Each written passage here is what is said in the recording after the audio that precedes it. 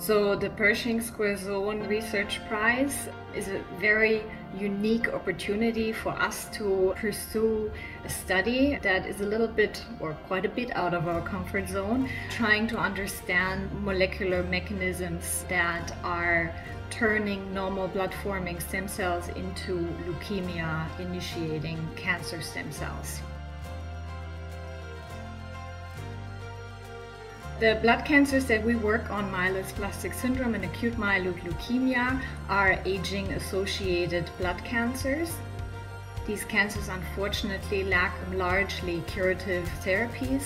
So what we're trying to really understand is what makes molecularly these cancers, specifically at the stem cell level, vulnerable and we try to understand the mechanics that separate out these malignant stem cells from normal blood forming stem cells to be able to really precisely go in and eliminate cancer cells while preserving normal blood stem cells.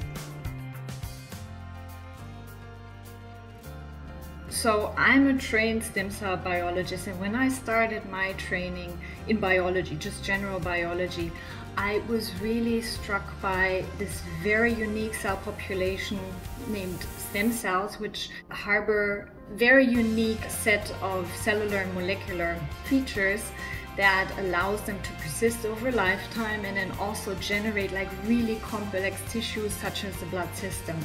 Going forward, being a biologist and learning new things on a daily basis is a fantastic thing to do, absolutely. But I started more and more to really understand how powerful stem cell biology is in the context of translational medicine. And with that, you can combine passion, passion for learning new biology, but also making maybe a difference for patients.